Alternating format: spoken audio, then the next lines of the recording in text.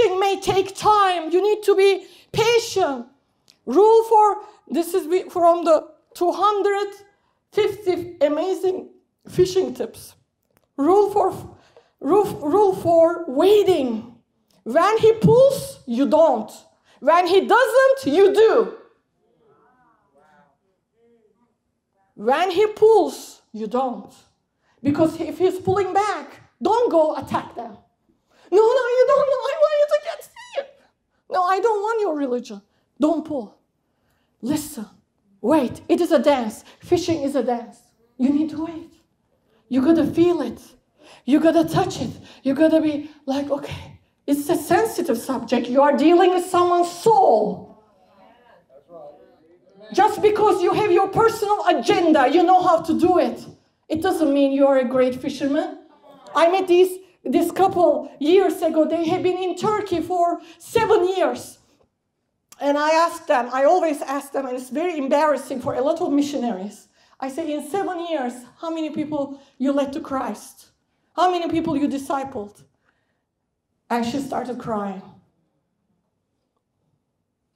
Seven years. One of the reasons they started hanging out with their own kind, missionaries, with missionaries. They didn't go to the fish. They were scared of fishing.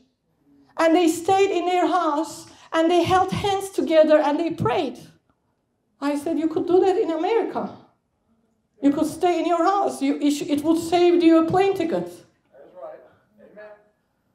She's like, But it's, we are in a Muslim world. It's a scary country. What would we do? How would I said, Did you hug anybody?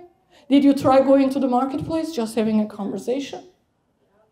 Did you just being with them and going and praying around their environment? Have you? Well, we have done some and nothing happened and we just got discouraged. Seven years later, she knew every food kind and everything on the menu of a Turkish in a Turkish restaurant. The hummus, the tabbouleh, and the lamb and everything. Everything she knew. She, they knew everything they could, where they could eat and they could have fun. But they didn't know anything about the fish. And it in my heart. And I want you to know. I said to them, they were going to go back. I said, don't go back. And then they said, Can you help us? I said, Okay, we're gonna fish. And then four, great fishermen engage the fish.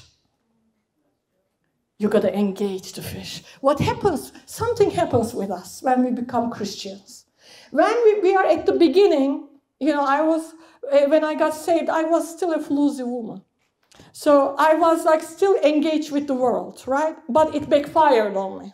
So it backfires on you. Then what you say is, I need to separate from the world and I need to grow. That's fine. But there's a time you need to be ready to engage the fish. You need to engage, you need to talk to them. We are so scared of, of them. We are scared of people. There's a fear factor in evangelism. We fear people. But I want to tell you something even worse than that. We don't like people. People don't, I'm going to tell you, this is a big revelation. People don't like people. Turn to your neighbor. Look at them. There's a people sitting next to you. Right? There are people everywhere. There are. You cannot get rid of them. You go to a market, they are there. You go to a restaurant, they are there. Look at, you know how I know people don't like people? There are at least two chairs between you and the next person. You don't like to touch. You don't like to be in that close proximity with people. There's my space thing. It bothers you. Why, why you are so close to me? If somebody is at the register in a supermarket, they come like, especially during the COVID, during the pandemic, they come like this. I'm like, are you kidding me? Now I have a good excuse. If you don't like people, you have a good excuse during the season. Some people they told me, "Oh, I haven't seen." My friend told me this. I ha- we haven't seen my mother-in-law for six months, and then she goes, "Hallelujah."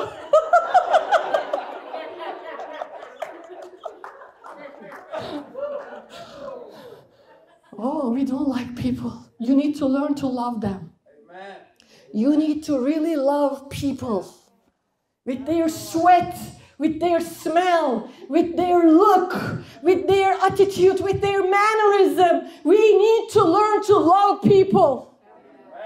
If anything, you need to ask Jesus, ask baptism of love in your life, baptism of compassion to give you. I, I'm telling you, forget being an evangelist or fisherman. You cannot be a minister without loving people. We need to love people, love and care for people. Other day I was in Barnes and Nobles and this girl was sitting far away and she was crying. And I had a meeting, but I said, No, I cannot leave this girl crying. And I went up to her. I'm like, Honey, why are you crying? She's like, If I were as young as you, I wouldn't have any problems.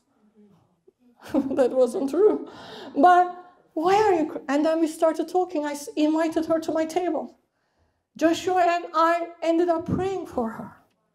And they, that night she came to our Bible, I mean, Dream Divergence class. She asked me, I was doing everything not to lead her to the Lord. Yeah. This is the same thing I do on TV. Because people know we are there to convert. Like it is, it is dollars from Deutschmark. We're gonna convert the money. We're gonna convert them. There's such a wrong language or terminology to convert people. We convert nobody. So I like people to put their guards down. I'm not here to convert anybody. I'm not gonna, because salvation is a supernatural experience. We sat down, she asked us, Who are you? We were like, We were not talking, you know, we were talking about Jesus, but we weren't trying anything. I said, We are two angels. We are working for our wings. That's why we call you to our table. She started laughing from crying. Then the door was open. And I said, I'm going to tell you a secret. Please don't freak out if we suddenly disappear or start flying in this place. We don't want to scare you. And this girl lost it. But I want you to know, I, I love fishing. You see, if you do it so really chillax instead of, oh, today I'm gonna go fishing.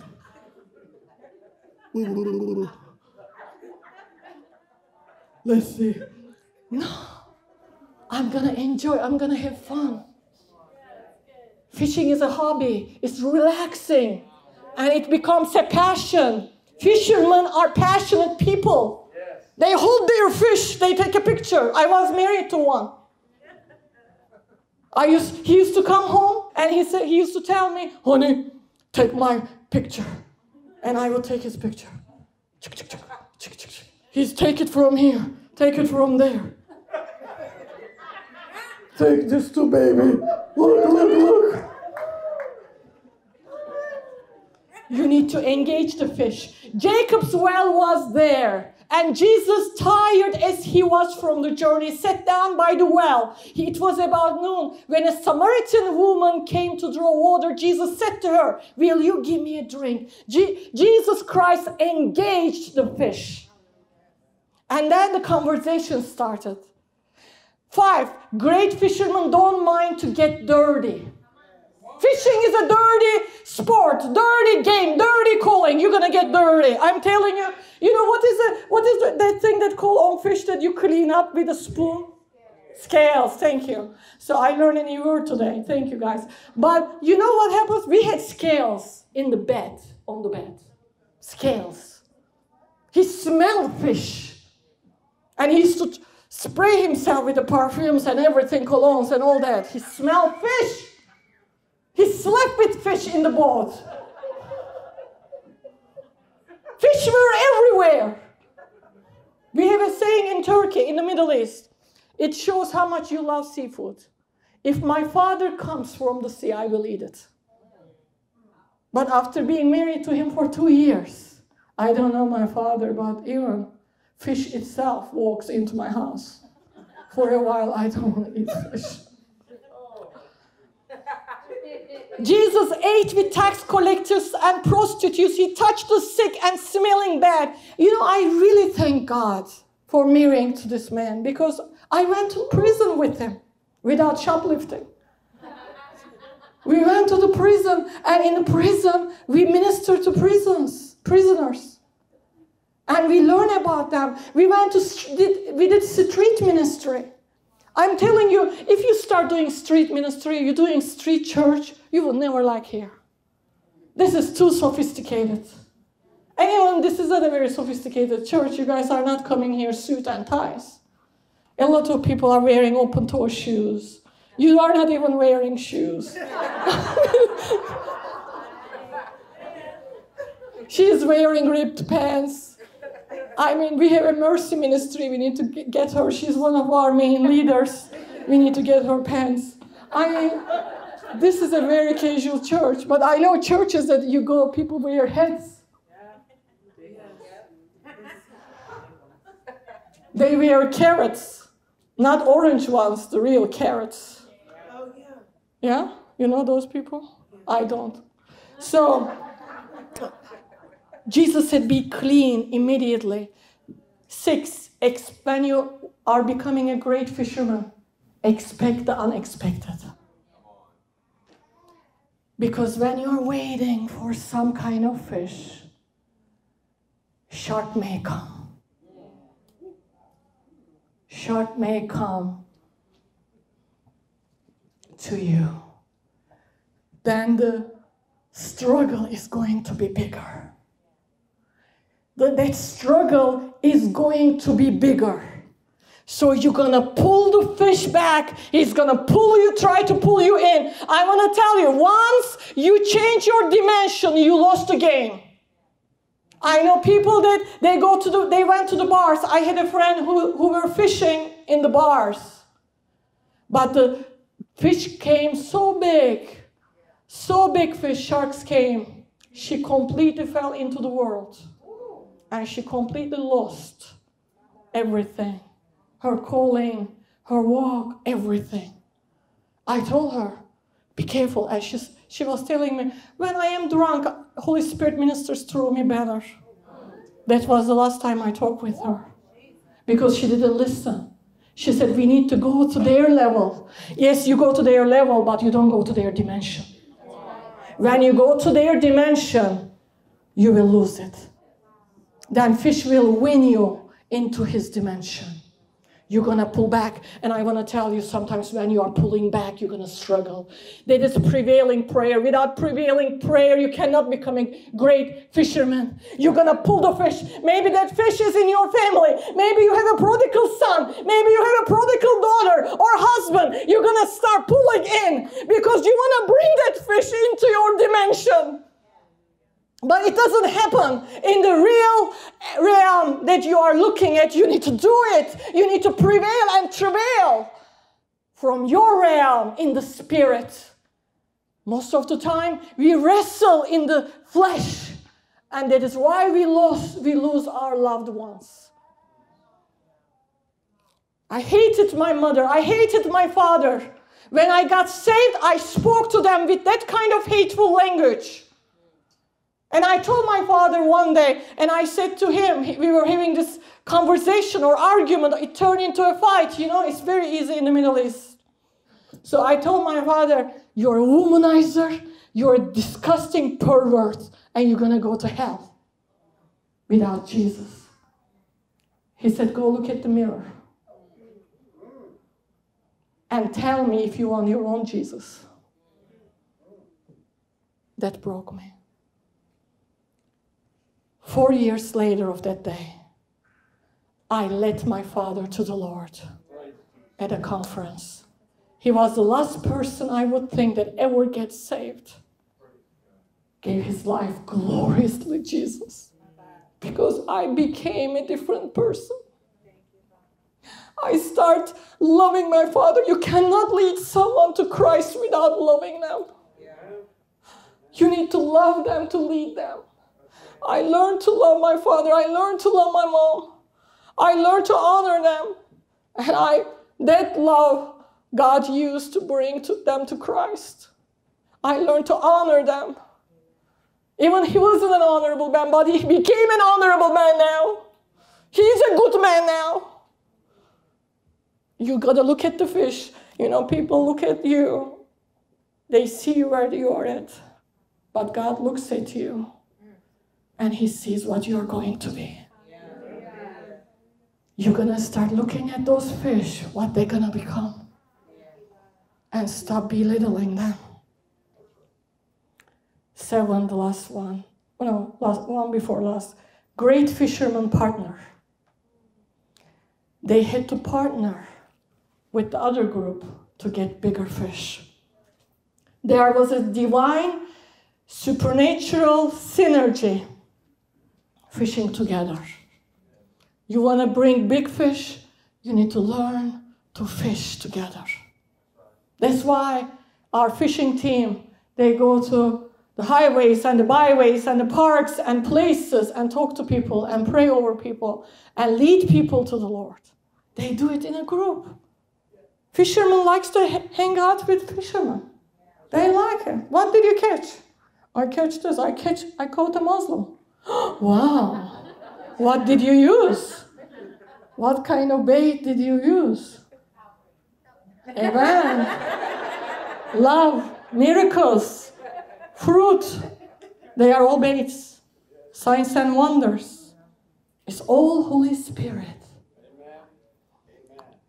Luke 5, they signal their partners in the other boat to come and help them. And they came and filled both boats so full that they began to sing. 8. Once you catch the fish, don't throw it back.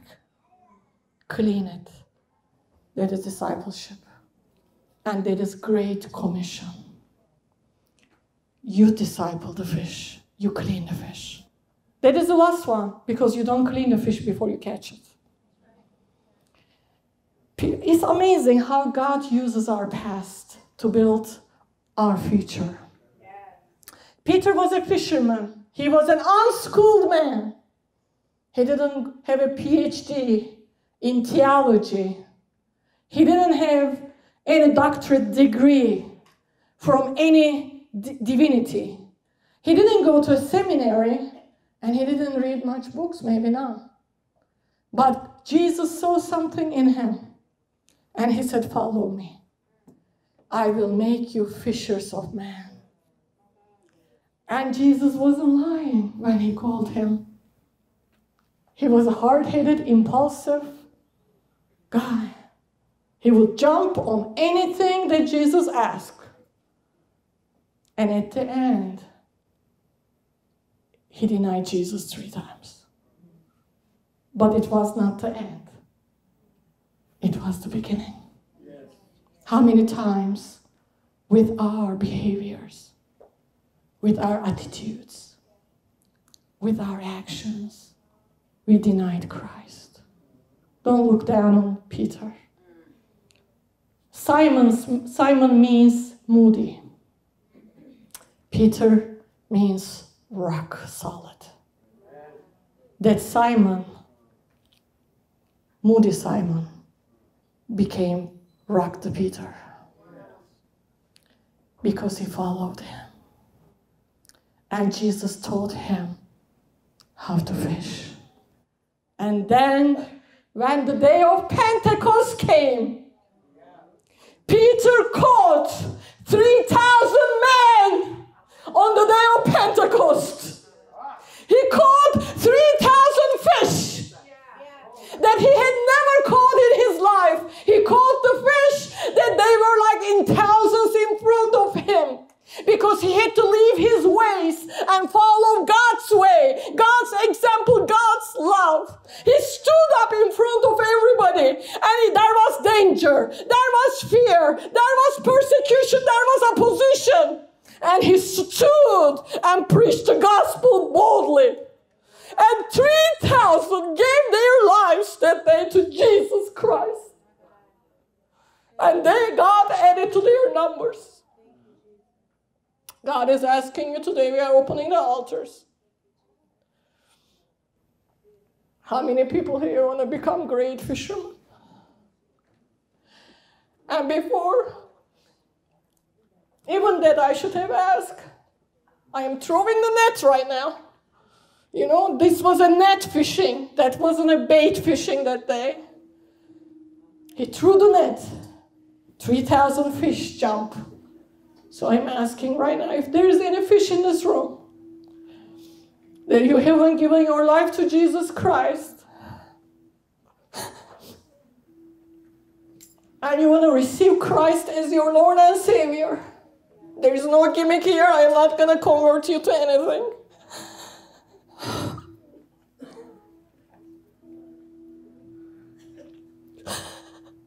I just feel the anointing of salvation in this room right now.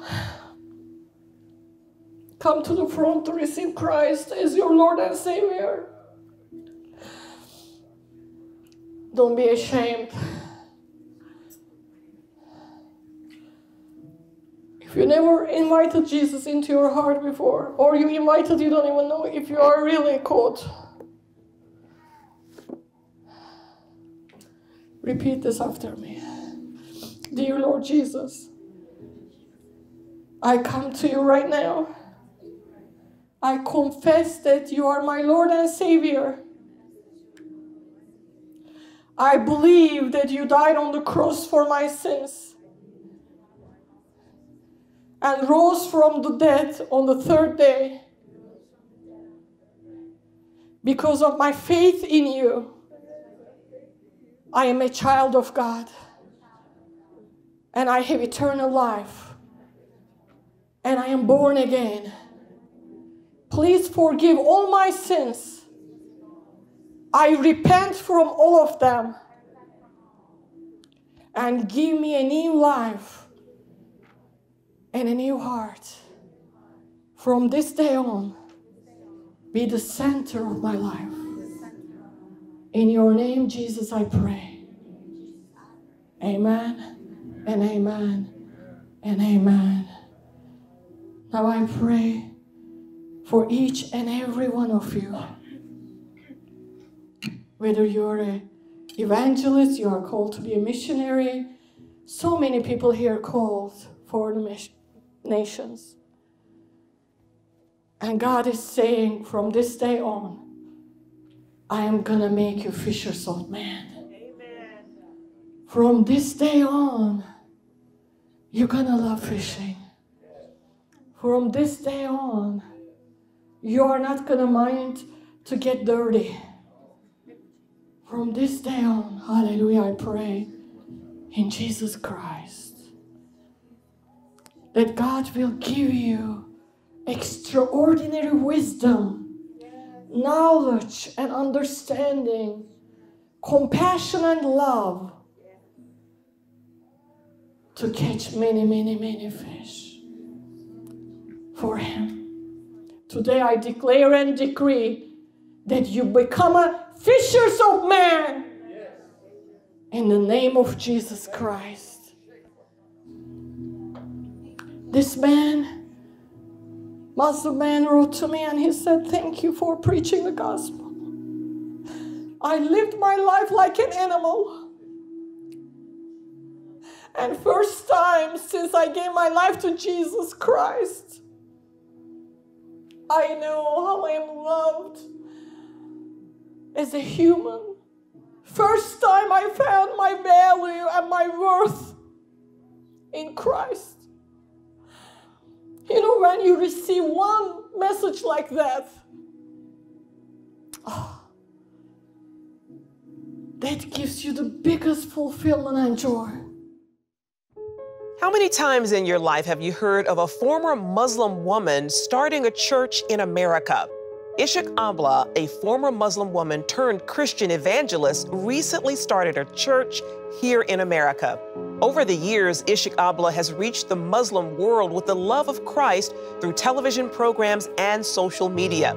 Işık's TV programs are broadcast to over 200 countries on six continents and a Facebook following of more than 7 million people. In 2016, Işık started virtual church Dream Church, an online video broadcast on Facebook Live where all colors, tribes, and nations can unite with God's love. All over the world, people from all nations started watching her broadcasts and engaging with her and her team.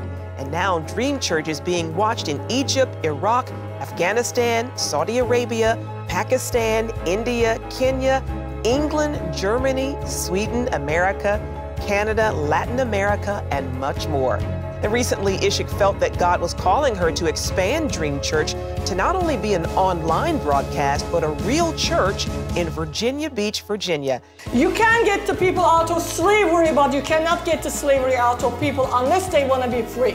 You are a free man no matter who you are and where you are, and you can be even called slave in another part of the world, but you can be the most freest man. Absolutely incredible. First of all, where did the, this vision, this dream for Dream Church you know, come from?